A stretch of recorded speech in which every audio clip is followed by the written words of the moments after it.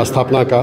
तो स्थापना दिवस के उपलक्ष्य में हम लोग उनतीस सितंबर को फिर दोबारा जो है ये सम्मान समारोह का कार्यक्रम रखे हैं। जागरूकता पैदा करते हैं कि अपने समाज से दूसरे समाज के लोगों को भी आप मदद कीजिए। वहाँ से हम लोग संदेश देंगे कि समाज के बीच में जो है अंतिम व्यक्ति तक पहुँच के कैसे हम लोग समाज समाज सेवा का मूर्त रूप दे सकते हैं। हम लोग 25 लोगों को सम्मानित करेंगे। संघ एक सामाजिक संस्था है और हर वर्ष समाज के बीच में अपना कार्यक्रम करता है।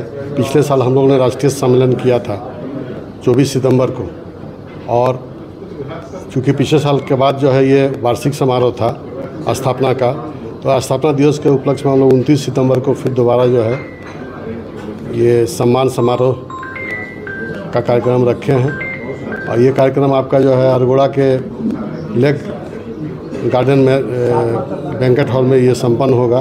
ग्यारह बजे से कार्यक्रम शुरुआत है, जिसमें पूरे प्रदेश के हर ज़िले के प्रतिनिधि जो सक्रिय भूमिका में हमारे संगठन में हैं, उनकी भागीदारी सुनिश्चित होगी। और वहाँ से हम लोग संदेश देंगे कि समाज के बीच में जो है, अंतिम व्यक्ति तक पहुँच के कैसे हम लोग समाज समाज सेवा का मूर्त रूप दे सकते हैं। उसी को लेकर ये कार्यक्रम है।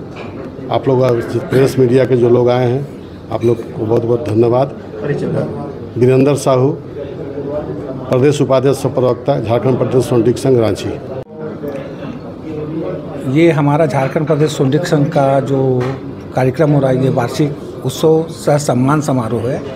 इसमें हम अपने समाज के जो उत्कृष्ट कार्य करते हैं राज्य में, झारखंड प्रदेश में मतलब चौबीसों जिला के अंतर्गत, उनको चुन करके उन लोगों को सम्मानित करते हैं और ये जागरूकता पैदा करते हैं कि अपने समाज से दूसरे समाज के लोगों को भी आप मदद कीजिए और उनके साथ साथ जुड़ के चलिए।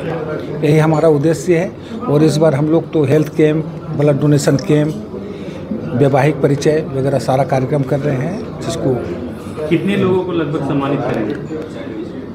लगभग हम लोग 25 लोगों को सम्मानित करेंगे। मुख्य अतिथि कौन मुख्य अतिथि के लिए बहुत सारे लोगों से बात हुई है जो अपने समाज के लोग हैं जैसे समीर महासेठ हुए हैं रामचंद्र पूर्वे हुए हैं या अपने झारखंड से ढुलू महतो हुए इस तरह के लोग हैं। मनीष जायसवाल जी हुए नवीन जायसवाल हैं धीरज बाबू धीरज साहू जी हैं। ये लोगों से हमारी बात चल रही है। कंफर्मेशन आने के बाद हम लोग 24 या 25 तारीख को फिर एक प्रेस वार्ता करेंगे उसमें हम लोग हाँ उस समय सारा क्लियर हो जाएगा। कल से हम लोग पब्लिसिटी के लिए चौबीस जिला में दौरा कर रहे हैं लोगों को जागरूक करके यहाँ बुलाने के लिए। उदय साहू, कार्यक्रम संयोजक, झारखंड प्रदेश सोटिक संघ और ऐसे ही तमाम खबरों के लिए सब्सक्राइब करें हमारे चैनल जेके न्यूज़ नेटवर्क और हाँ बेल आइकन दबाना ना भूलें।